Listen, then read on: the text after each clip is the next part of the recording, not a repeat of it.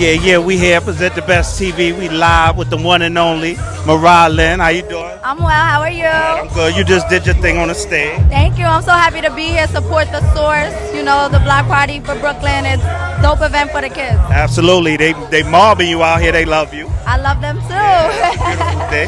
So listen, music, TV, and I've actually been seeing some of your model work with the Butterfly Collection. Talk about oh yeah, I actually was hired to do uh, a couple of you know promotional things for the Butterfly Collection. It's a super dope collection. It's a lingerie collection by my homegirl Jay. So shout out to them.